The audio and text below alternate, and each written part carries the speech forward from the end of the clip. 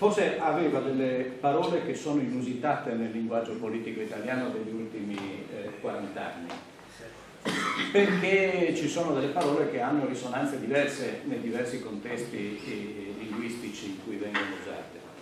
Eh, quando usava la parola ideologia, per esempio, era Mozzo, che viene da un paese dove non sono mai stati forti i movimenti totalitari, eh, che per definizione sono stati definiti ideologici negli ultimi decenni in Italia, ci si riferisce a quella accezione del termine ideologia che eh,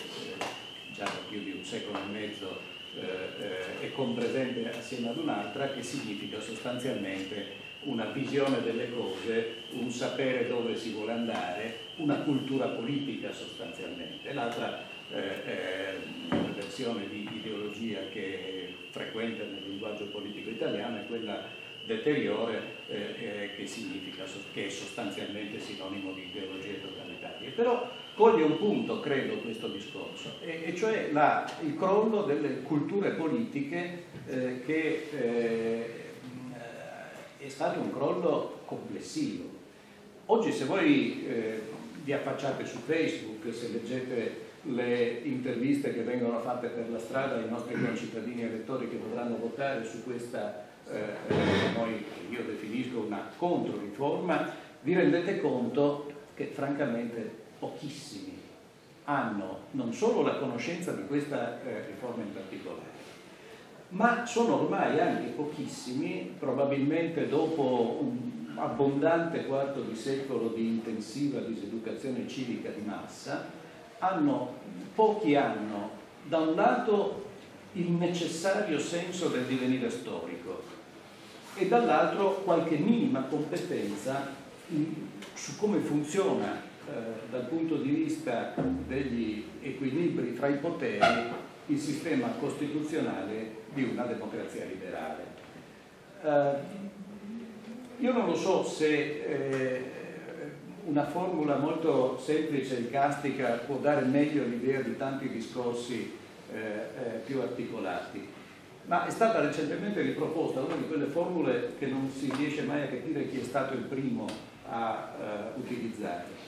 che dice molto. Eh, le Costituzioni sono quelle regole che i cittadini si danno quando sono sobri per ritrovarsene quando uh, si ritrovano ubriachi. Si è persa intanto in questi anni la prospettiva del divenire storico. Sembra quasi che la democrazia liberale sia un dato della natura anziché una conquista eh, eh, delicata, difficile eh, da mh, preservare giorno per giorno della nostra civiltà politica. Noi che siamo nati dopo la seconda guerra mondiale non abbiamo l'idea della possibilità dei cambiamenti che avevano coloro che sono nati nei 70 anni precedenti. Da 70 anni ad oggi, almeno per gli europei dell'Occidente, noi ci troviamo sostanzialmente in un contesto di democrazie liberali basate bene o male, spesso più male che bene, sul rispetto delle libertà fondamentali, dei diritti umani, in società relativamente aperte, in economie di mercato, in eh, società secolarizzate che, sempre, eh, che, hanno sviluppato una sempre più eh, ovvia considerazione dei diritti e delle libertà e della dignità dei singoli. Pensate a, a chi fosse nato anziché dopo la seconda guerra mondiale, cioè 70 anni fa, 70 anni prima, eh, qualcuno che fosse nato anche agli inizi del Novecento Costui avrebbe sperimentato nel corso della sua vita eh, situazioni politiche tanto diverse quanto eh, il, il, Regno d'Italia che appena si andava consolidando, la breve eh, ma intesa stagione eh, dell'età giolittiana, eh, la guerra di Libia, eh, l'impazzimento della cultura più ancora che della politica italiana alla vigilia della prima guerra mondiale, la prima guerra mondiale, che è stata forse l'evento che più ha segnato eh, eh, quello che è accaduto nei decenni successivi, eh, l'avvento del fascismo, la settimana rossa prima ancora, eh, l'instaurazione del fascismo, eh, eh, la guerra d'Etiopia, la guerra di Spagna, le leggi razziali, la seconda guerra mondiale, la catastrofe del paese, la ricostruzione così difficile di una democrazia liberale, l'incertezza sulle sorti di questa neonata democrazia immediatamente dopo, quando non si sapeva se il fascismo fosse stato davvero sconfitto, quando in tutti i paesi dell'Europa orientale venivano instaurate dittature comuniste e poi costui, se fosse vissuto a lungo, avrebbe conosciuto la, uh, ricostruzione, il miracolo economico, ma dalla seconda guerra mondiale, dalla fine della seconda guerra mondiale, tutto sommato non avrebbe vissuto le grandi svolte epocali che aveva vissuto la generazione precedente. Per cui si ha in qualche modo l'impressione che molti nostri concittadini considerino le libertà eh, costituzionali, la democrazia liberale, il contesto eh, anche di eh, egemonia della, di questi valori, di questi principi nel mondo, che eh, abbiamo sperimentato in questi 70 anni come qualcosa di scontato. E la dimensione eh, politico-istituzionale che rende tutto questo possibile come eh, sostanzialmente stabile. Beh, guardate che cosa succede intorno a noi. Intorno a noi i fondamenti stessi su cui si fonda la eh, democrazia liberale, il sistema delle libertà individuali, la società aperta vengono messi in discussione ovunque. Forse Marine Le Pen sicuramente pare, sarà eh, una dei due candidati al ballottaggio eh, nella eh, Repubblica francese. Eh, la Gran Bretagna ha votato non solo e non tanto la Brexit, quanto la Brexit sulla base delle proposte di un gruppo eh, eh, di, davvero, insomma, di, di qualunquisti e, e, e, di populisti assatanati. Eh, perfino in Germania, il paese che sembrava eh, più di tutti gli altri eh, immune e vaccinato contro entrambe le catastrofi del Novecento, cominciano a esserci lì. Nasce un partito che è il partito di professori che non amano l'euro e subito dopo qualche mese se ne impadroniscono dei eh, populisti autoritari, peggiori ancora, eh, e proprio per questo riescono ad avere il successo che rischiano di avere perfino eh, in Germania. E proprio quando spuntano ovunque, non parliamo dell'Europa orientale, della Polonia, dell'Ungheria, eh, movimenti populisti, autoritari, xenofobi, apertamente razzisti, proprio qui si stabilisce eh, di dover affrontare una riforma costituzionale che attenua e affievolisce le garanzie delle libertà costituzionali e delle regole del gioco. Io cerco di spiegare in questo, in questo libro attraverso quali eh, complicati meccanismi costituzionali questo si verifica. E, e tra l'altro quale sia il rapporto fra legge elettorale e garanzie delle libertà costituzionali perché si possono fare tutte le riforme costituzionali che si vogliono, si possono anche aumentare anziché eh, diminuire le garanzie eh, costituzionali dei diritti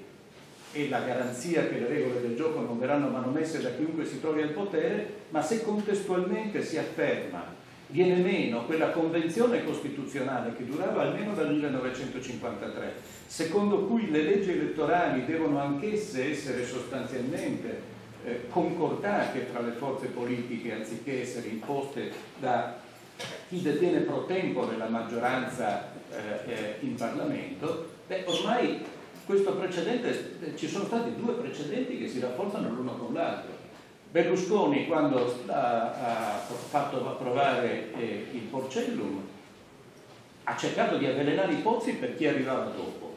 votando una legge elettorale alla vigilia delle elezioni, a giochi quasi già iniziati, eh, che avrebbe dovuto rendere difficile la vita ai successori. E Renzi, quando si sentiva fortissimo, approva, fa approvare all'opposto, anche a maggioranza, una legge elettorale che sbaraglia l'opposizione. E adesso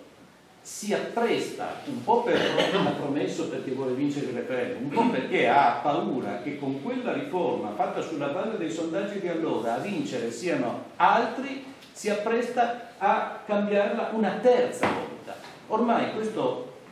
questo, questo precedente si è così consolidato, ormai si è affermato il principio che qualunque maggioranza parlamentare può farsi la sua legge elettorale a proprio vantaggio sulla base degli ultimi sondaggi. In una situazione di questo tipo, venuta meno quella convenzione costituzionale pluridecennale, qualunque riforma costituzionale diventa irricevibile se non fissa in Costituzione i principi di fondo della legge elettorale o se non stabilisce quantomeno che le leggi elettorali non si possono modificare a maggioranza semplice con una qualunque legge ordinaria. Per cui anche se Renzi dice noi cambieremo l'Italicum, io poi voglio vederlo se lo cambiano in caso di vittoria eh, del sì, perché se, se, se, dovesse vincere il sì e i sondaggi di Renzi fossero ottimi, si troverà una scusa, si dirà ma noi avremmo voluto cambiarlo l'Italicum, però non ci hanno consentito, non c'era il consenso, i 5 Stelle hanno fatto ostruzionismo, pazienza, andiamo alle elezioni con questa legge elettorale. Si avrà salva la Corte Costituzionale certamente, ma potrebbe riuscire ad arrivarci prima ancora di una eventuale decisione della Corte Costituzionale. Così i successori. Tra l'altro, guardate, una delle truffe di, di, di contenute nel, nella, nel progetto è quello che stabilisce il controllo preventivo della Corte Costituzionale sulla, eh, eh, sulle leggi elettorali prima della loro entrata in vigore perché oggi, grazie all'avvocato Palumbo, all'avvocato Bozzi e altri loro colleghi, si è affermato con grande difficoltà il principio che chiunque di noi, qualunque cittadino elettore, può attraverso un giudice riuscire a provocare un giudizio di legittimità della Corte Costituzionale eh, eh, sulla legittimità della legge elettorale. Con questa norma che è stata inserita nella riforma, e che stabilisce che il meccanismo può essere attivato soltanto entro dieci giorni, se non mi ricordo male, dall'approvazione della legge. E soltanto per iniziativa di una consistente minoranza di deputati e di senatori, questo meccanismo sarà con ogni eh, verosimiglianza ritenuto sostitutivo di quello, per cui anziché esserci una,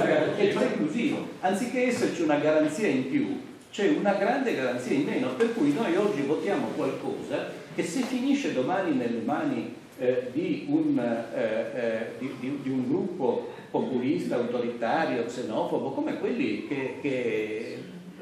nascono come funghi intorno all'Italia, noi rischiamo di ritrovarci domani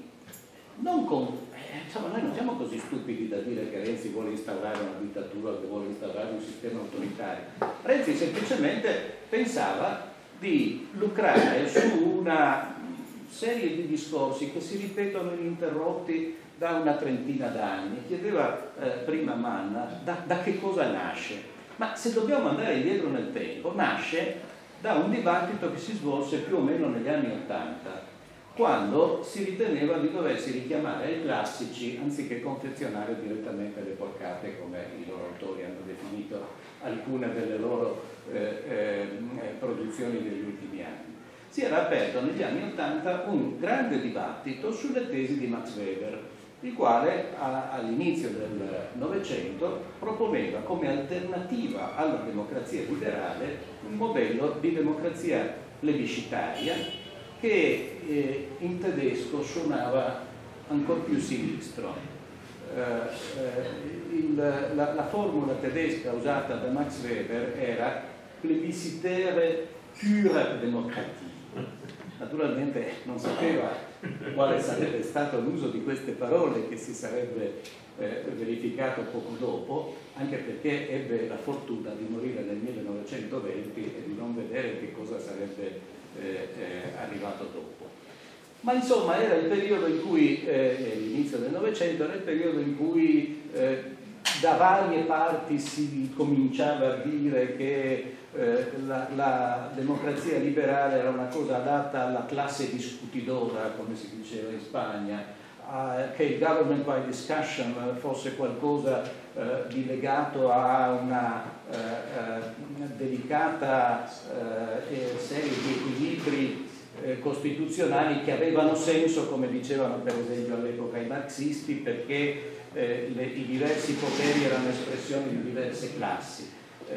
Non a caso ancora all'Assemblea Costituente i comunisti non volevano, i comunisti all'epoca stalinisti non volevano né Corte Costituzionale né eh, separazione dei poteri, si battevano per il principio dell'unità del potere statale, che era l'idea del procuratore Lishinsky, come eh, alternativa alla separazione dei poteri che ritenevano tipica della democrazia borghese. Eh, ma questo dibattito invece weberiano che era stato ripreso epoca, negli anni Ottanta in epoca craxiana era stato ampiamente diffuso sulle riviste che facevano capo a Craxi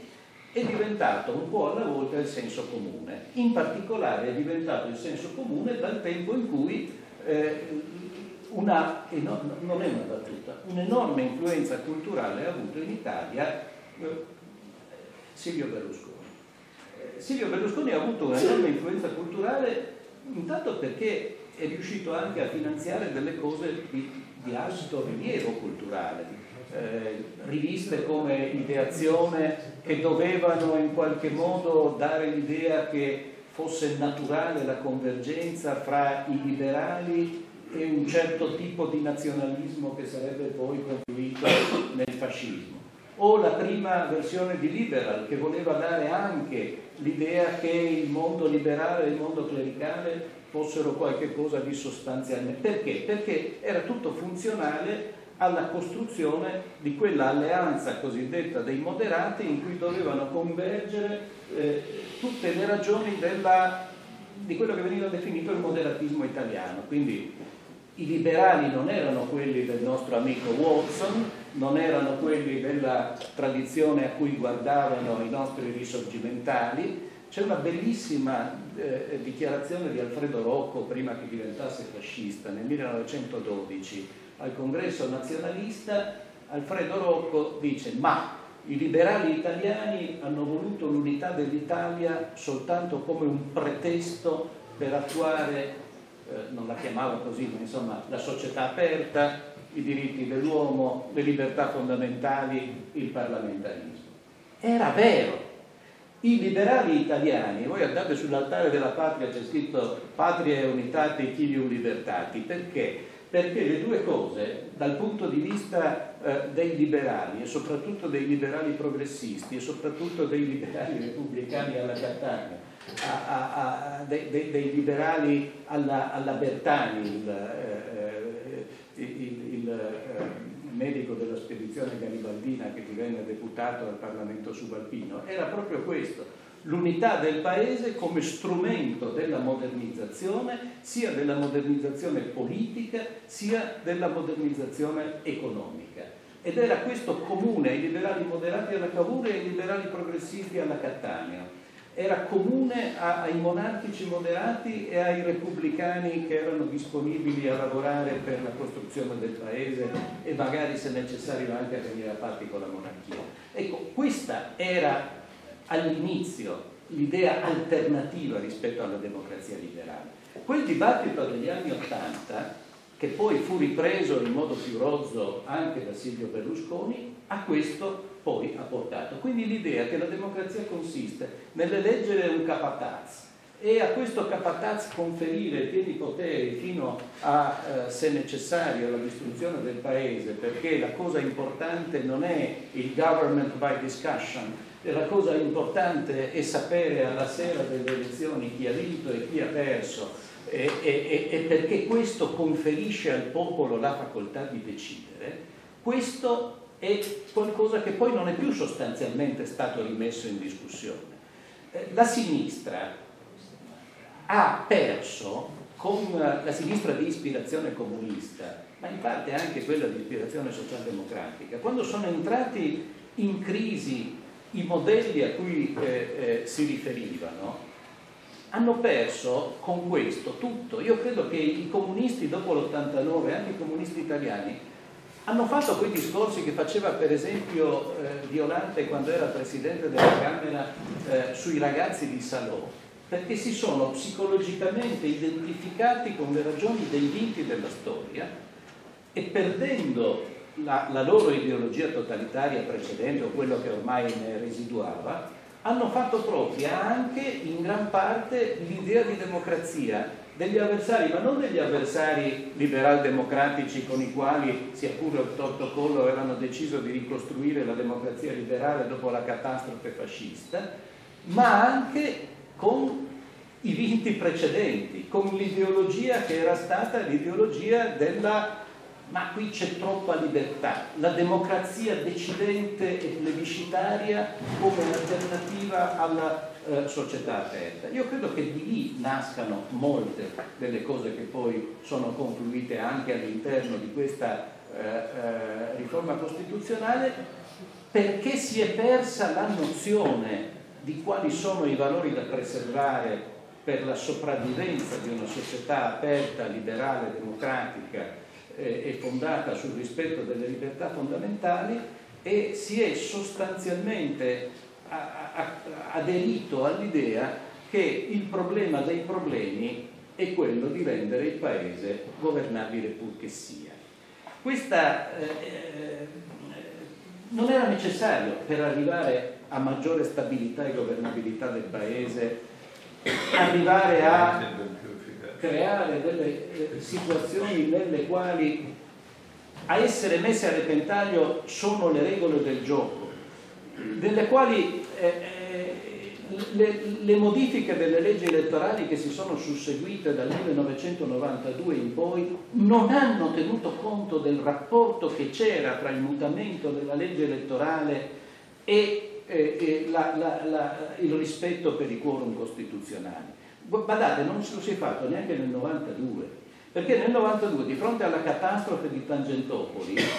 si è proceduto a un'operazione che sarebbe stata assolutamente legittima, che era quella di cambiare il sistema elettorale. Ma non ci si è posti il problema dell'adeguamento preventivo dei forum costituzionali che erano stati stabiliti nel 1948 sulla base del presupposto tacito ma all'epoca universalmente condiviso, secondo cui eh, la legge elettorale per la Camera e per il Senato sarebbe stata una legge elettorale proporzionale.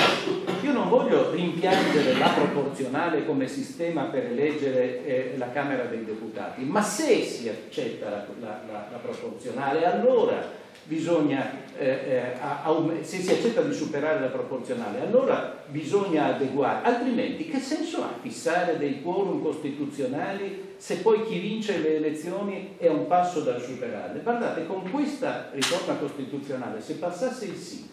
per riuscire a consentire a una maggioranza di legislatura di impadronirsi delle regole del gioco, e pensate per esempio a una emergenza terroristica come quella che ha vissuto quest'anno la Francia o a un aggravamento ulteriore e molto drammatico della crisi economica,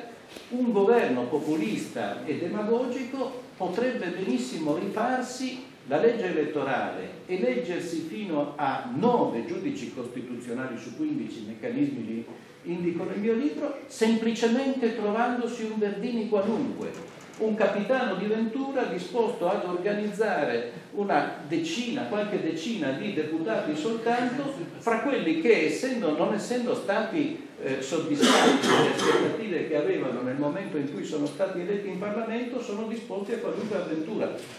Badate, la Costituzione degli Stati Uniti si è cercato di adattarla, alle, di introdurla in tutti i paesi dell'America Latina per decenni e quelle stesse norme hanno prodotto un risultato diverso perché bisogna tener conto della sociologia, della, sociologia politica e dell'antropologia culturale dei paesi in cui le norme vengono introdotte. Quest'anno ci sono stati 263 deputati che hanno cambiato gruppo. Allora si può cambiare gruppo perché cambia il proprio gruppo, come è il caso sicuramente di scelta civile e eh, io non, non, sarei rimasto in un gruppo che voleva poi finire con Verdini. Però ci sono 263 parlamentari che nel corso del pari al 27,68% che sono passati ad altro gruppo, per un totale però di 380 passaggi, perché alcuni deputati hanno cambiato gruppo più volte, alcuni parlamentari. Allora, in una situazione di questo tipo bisognava blindarle le garanzie costituzionali anziché rischiare eh, di attenuarle, proprio perché bisogna tener conto della sociologia politica e dell'antropologia culturale quando si fanno queste cose. Io ho parlato anche troppo, ma vi racconto brevissimamente qual è la proposta alternativa che io spero che potremmo forse prendere in considerazione per imbastirci una proposta della cultura e della politica liberale, radicale, repubblicana, laica democratica nel caso che il no vincesse a partire dal 5 eh, di eh, dicembre. Se la, la, il problema è la stabilità dei governi e consentire a chi vince di governare, benissimo. Si tratta di consentire una base parlamentare sufficientemente ampia per consentire a chi vince di approvare la fiducia, approvare i bilanci, far passare la legislazione ordinaria e determinare l'indirizzo politico. Non anche di cambiare unilateralmente le regole del gioco, non anche di modificare la Costituzione, non anche di eleggersi gli organi di garanzia. A me sembra che questo si possa fare in modo abbastanza lineare e forse anche comprensibile con questo meccanismo. Una Camera sola,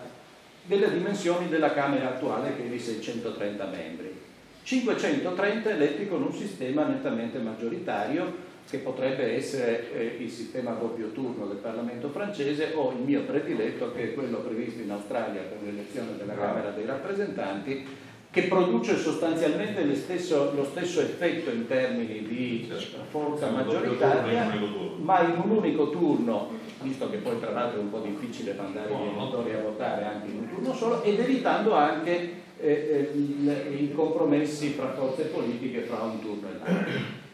Questo dovrebbe garantire ragionevolmente, sul sistema elettorale lo garantisce al mille per mille, ma insomma questo avere 530 membri su 630 eletti con questo sistema dovrebbe sostanzialmente garantire la possibilità eh, che per quel che riguarda quelle funzioni che abbiamo detto, approvare i bilanci, conferire la fiducia, votare la legislazione ordinaria, terminare l'indirizzo politico, questo dovrebbe essere assicurato. Propongo poi che invece 100 membri di, questo, di questa Camera unica, che in omaggio alla tradizione potrebbero essere chiamati, se volete, senatori, venissero eletti invece con la proporzionale pura e solo quando la Camera vota tutta intera nel 99% delle occasioni in cui deve votare, ma quando si devono votare questioni che riguardano la modifica della Costituzione,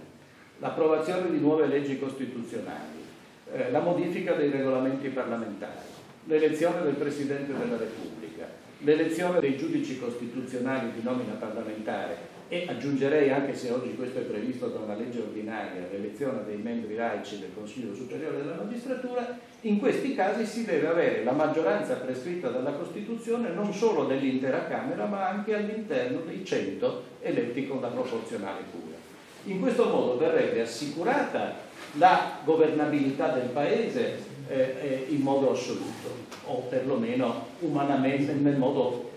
che umanamente si può prevedere essere assolutamente eh, eh, stabile. E al tempo stesso non si metterebbero a repentaglio le libertà costituzionali e non si metterebbe nelle mani di chi vince una semplice tornata elettorale la determinazione delle regole del gioco. E in più, e con questo finisco, questi 100 sono il luogo in cui la forza politica outsider potrebbe fare le sue prove prima di cimentarsi nella principale arena maggioritaria. Questa è sostanzialmente la proposta, non so se i 5 potremmo provare a discutere di vedere se possa essere fatta propria da un'area un pochino più alta e chiedo scusa se ho parlato troppo a lungo.